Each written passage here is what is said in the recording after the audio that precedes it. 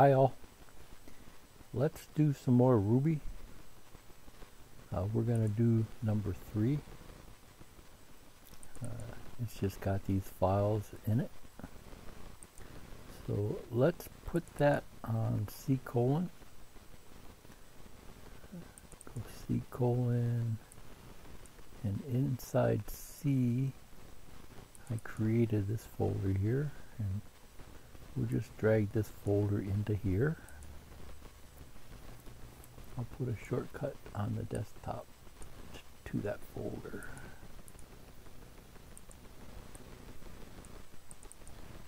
So there's our files.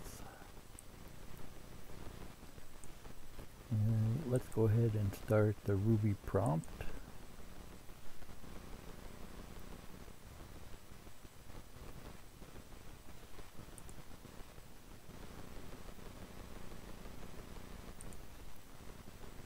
and it saved my settings from last time so I don't have to change the uh, background and the font and, and things like that. Uh, I think I will make that font a little bigger. Okay, so let's uh, CD to C colon, then we'll CD into the Ruby folder and then CD into the 03 folder. Do a DIR to see the files. And there's our 10 files. One, two, three, four, five, or there's 11 in, in this one. So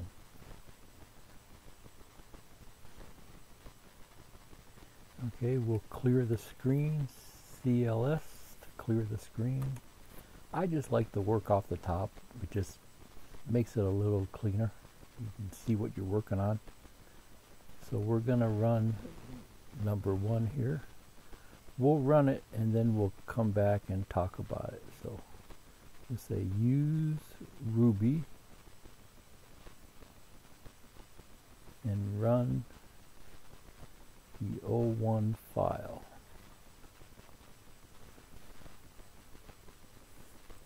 Hit enter and it displays this text.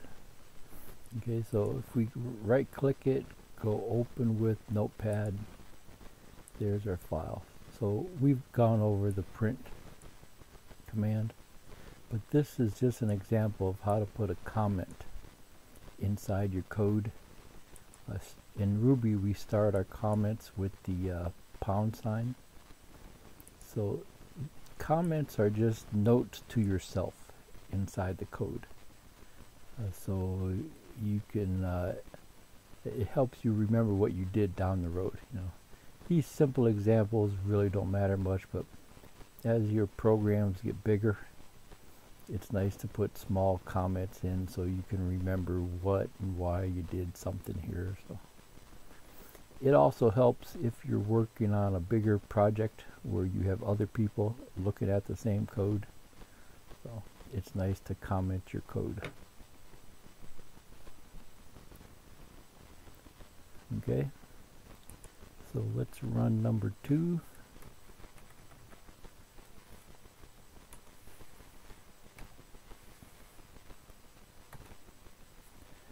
Same, same thing.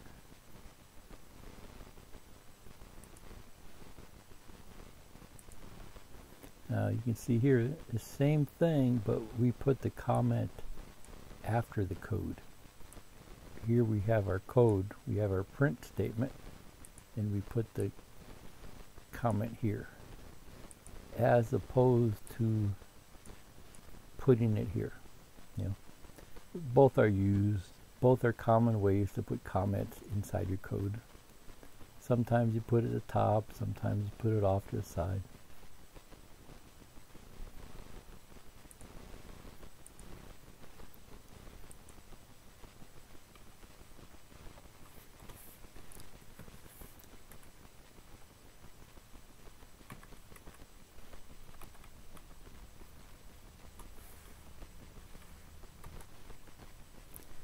Okay, number three.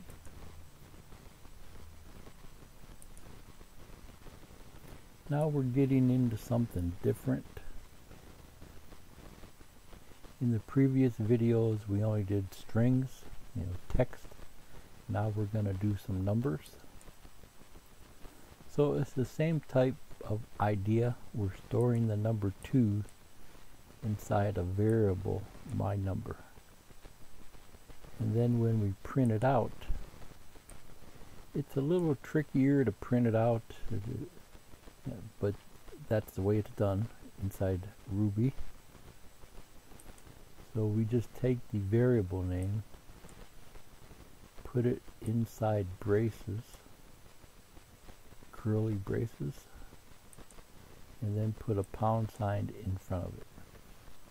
So that is kind of a complicated way to print out a variable. See, the variable is inside of a string. We're printing this text to the screen. So that's what makes it kind of hard.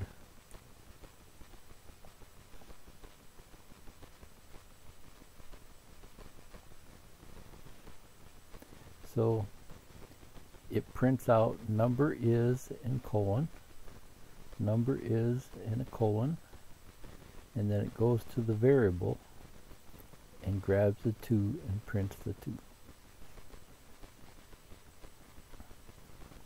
Okay, and just like in strings, in most other languages, you normally have to tell the program what data type this is.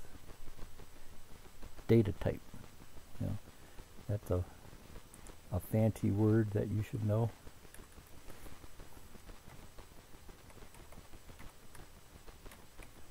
What is the data type?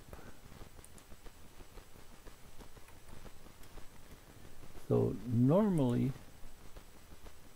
like you would have to go int. Yeah. My number is an int, is an integer. And we're going to store the number 2 in it. Okay? But again, in Ruby, we don't have to worry about that.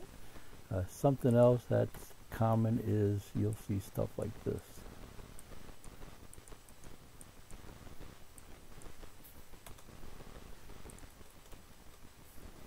Okay, create a variable called my number. The data type is int, is an integer. We're going to store integers inside my number. Then we take the number 2 and store 2 in my number. So that's what you'll see in other types of languages.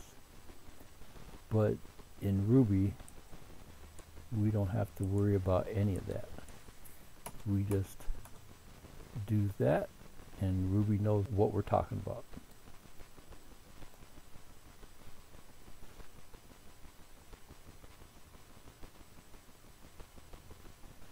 Okay. So that's number three.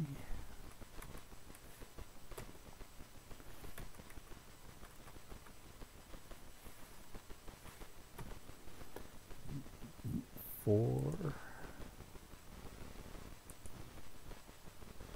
Okay, this is the same type of deal as with the integers, but it, the example is just a little bigger. We're creating a variable called mynum, storing a 5 in it. Then we're creating a variable called mynum2, and storing a 2. Then we're creating a total and we're storing 0 in it. This step really isn't necessary, but it's nice to do that because uh, it clears out the uh, the area in memory where we're going to store a number, so we don't get we don't get any junk. And then here we're doing some math, and it's kind of backwards from what we're used to seeing you know, we're storing these two numbers and putting the total here. So don't let that mess you up. It's no big deal. You know, sometimes that type of thing will mess up math people because they're used to seeing it the other way around. You know, total should be over here, right? But in uh, computer programming, we do it like this. Uh, my number one, and then add my number two. So we're taking five plus two and storing a seven in here.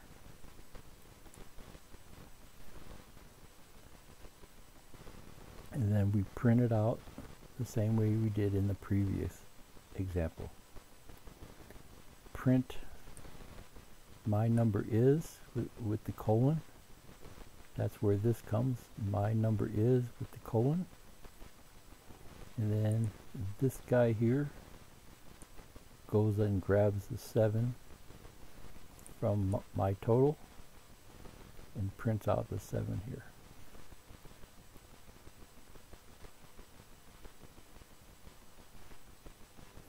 Okay, so that's how you create multiple variables and we're doing some addition here.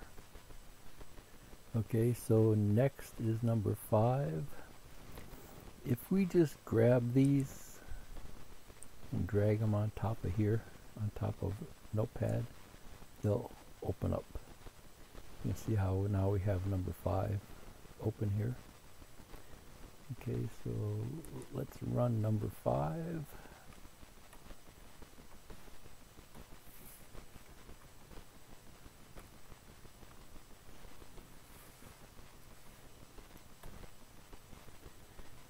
Number is three.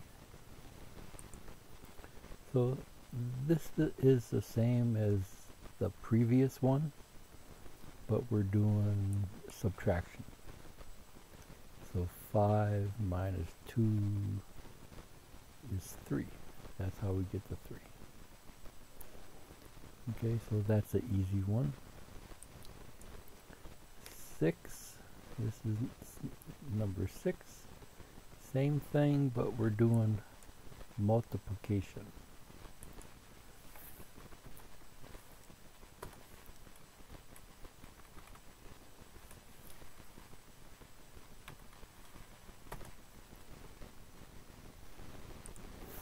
So we got 5 times 2. 5 times 2 is 10. And then number 7, same thing, but we've that's how we get division. We use the forward slash, right?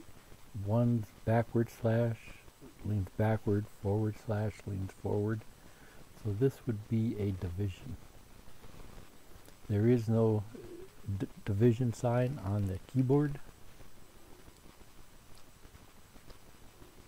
So we use the forward slash. So this is number seven.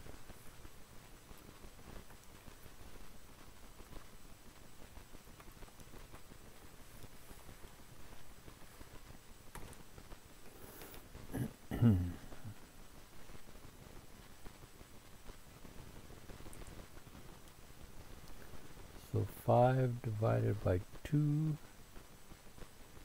is 2. 8. So this is number 8. Here's another way to put a comment into your code. See, the ones we did earlier, these were just for like one line of code. If we wanted to, you know, we could do stuff like this to put in multiple lines. There's absolutely nothing wrong with that, right? That's fine. But they have another way to comment your, your code, and that's with a begin and end statement. And then this whole section here would be a comment. Uh, you don't have to indent these, but I just indented them to make it easier to read. Uh, usually indentation is a personal thing. You know, some people like to indent less. Some people like to indent more. You know. But usually four four spaces is a good rule of thumb.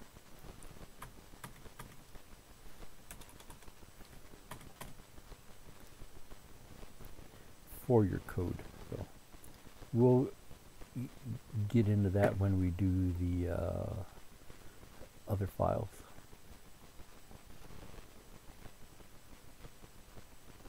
So this again is kind of odd, you know. It starts it with the equal sign, and then use the word begin, and you end it with the equal sign and the word end. So first time I've ever seen anything like that.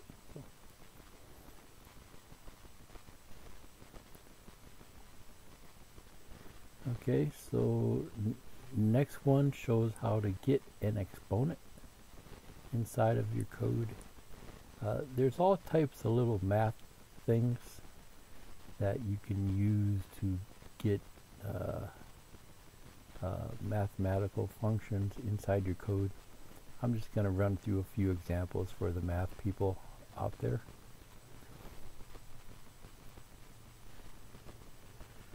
So let's see here.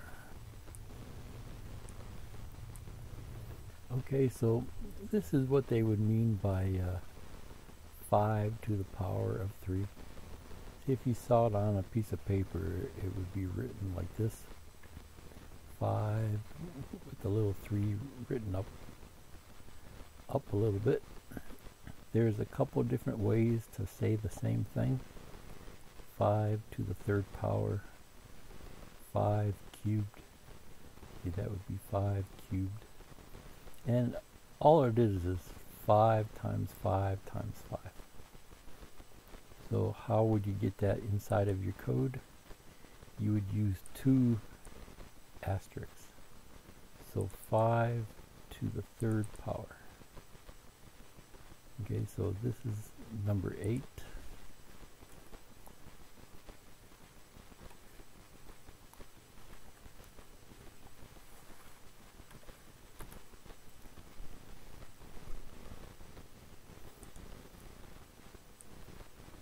So 5 times 5 is 25 times 5 would be 125. So that one's kind of tricky.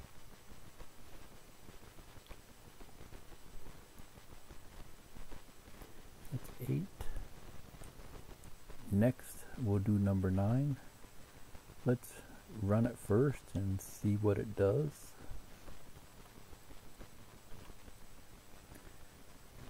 Number is 3. We'll open the file. So what this does is it returns the remainder after a division. So we've got 11 divided by 4, 4, 8, 4 goes into 11 two times, right? And then there's 3 left over. So 3 is the remainder. That's how we get a 3 here. Now this percent sign, that's how we get the modulus. So let's run through this. This first part is just a comment this starts the comment this ends the comment so we have 11 modulus 4 and it returns the remainder of 3 so you can think of this as like 11 divided by 4 4 goes into 11 two times and the remainder is 3 Okay, so we have my num1 is 11, my num2 is 4, my total, we set that to 0. Then we do the math here. Okay, 11 mod 4, it returns the remainder of 3, and then we do the print statement number is colon. That's this part. Number is colon. And 3 was stored in here, right? So 3 comes down to here. And this guy grabs the 3 and prints out the 3 here.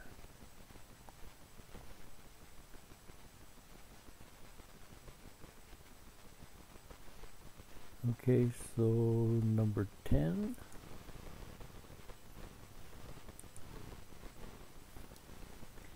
This is an example of precedence. So let's go over this one here first.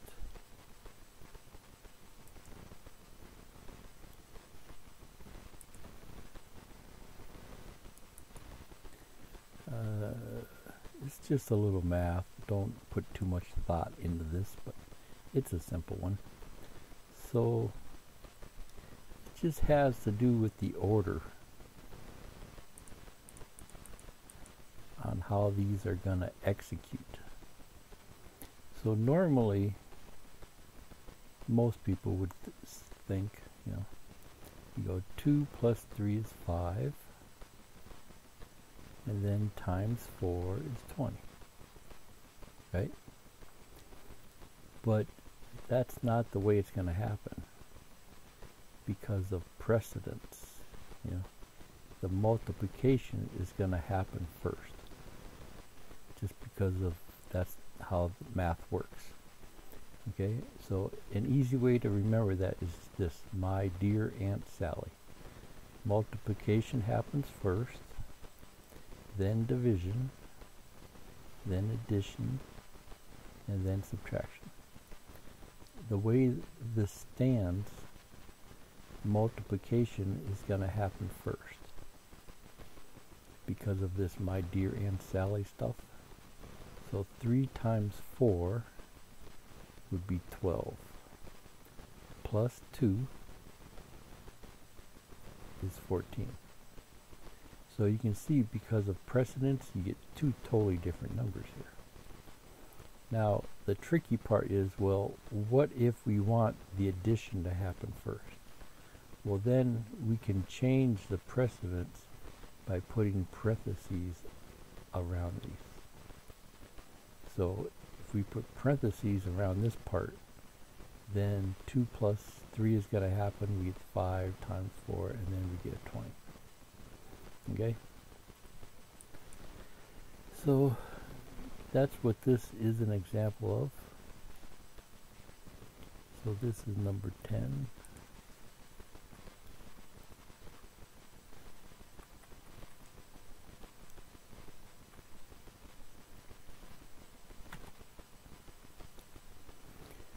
Okay, and uh, let's see what we did here. Okay, so this section is a comment. This is an example of precedence. My dear Aunt Sally. And then number one is two. Number two is a three. Number three is a four. In total, we're going to make total a zero. And then this first part we go num1 plus num2, num3. So this part's going to happen first, right? So 2 and 3. So we got 3 times 4 is 12 plus 2 is 14. So that's where we get this 14 here. My number is is printed out with the colon and then it takes my total which is 14 and inserts it here. Here's the 14 and then we did a new line. We went over that in the previous videos. And then we did some more math here but we change the precedence with these parentheses here so my number 1 plus my number 2. 2 plus 3 is 5 times 4 is 20 times 4 is 20 And that's how we get the 20 here.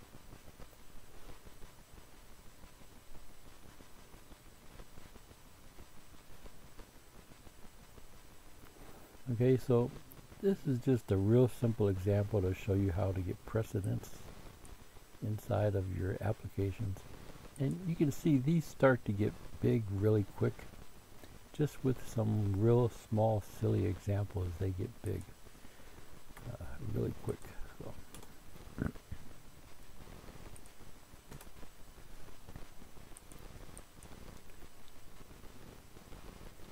and number 11 with decimal points. Let's run it and see what happens here. Okay, so 1.1, 1.1, 2.1, 2.1 is going to be 2 and 3, 3.2. So that's how we get to 3.2 here. 1.1 plus 2.1 is 3.2 and my number is with the colon is printed out here. And then we took the 3.2 which is stored here and printed that out here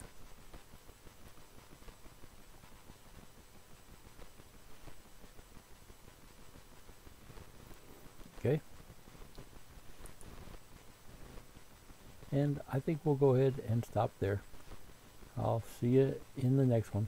Bye.